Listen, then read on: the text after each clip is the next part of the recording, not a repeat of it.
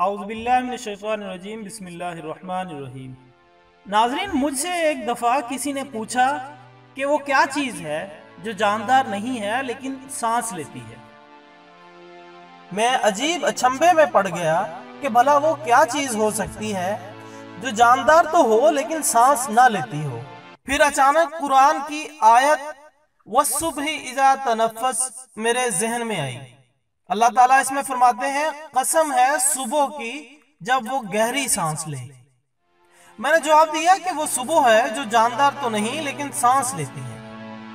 سوال پوچھنے والا تو مطمئن ہو گیا میرے جواب سے۔ لیکن میں سوچ میں پڑ گیا کہ بھلا صبح کیسے سانس لے سکتی ہے۔ تفاصیر وغیرہ کھول کر دیکھیں تو مفسرین نے تنفس کا ترجمہ زندہ ہو جانے سے کیا تھا۔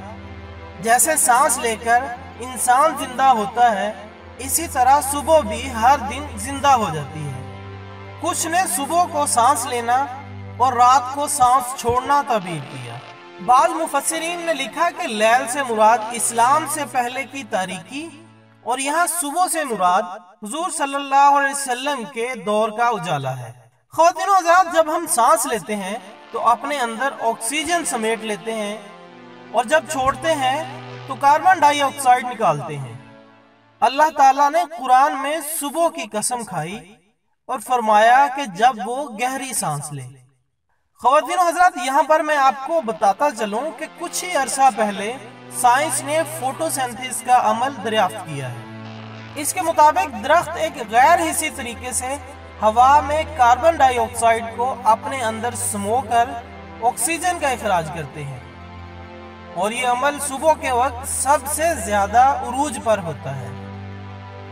یعنی دنیا میں سب سے زیادہ آکسیجن کی مقدار صبح کے وقت پائی جاتی ہے اور یہی صبح کی گہری سانس ہوتی ہے۔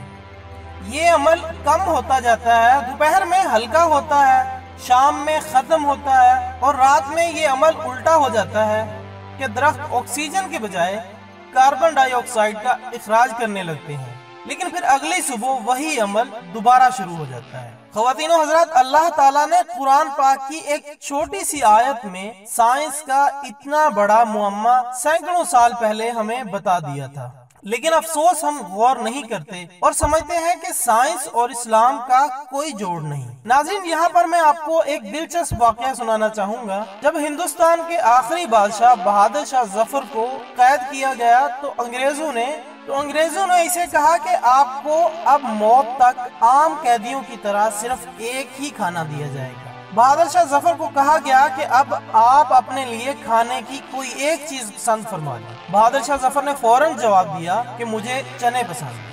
انگریزوں نے چنے کی پچاس بوریاں بادشاہ کے خان سامہ کے حوالے کر دیں ناظرین، آپ جان کر حیران ہوں گے کہ بہادر شاہ ظفر ان چنوں سے روزانہ ایک نئی ڈش بنواتا۔ اور اس نے آخری دن تک کوئی سالن رپیٹ نہیں ہونے دی۔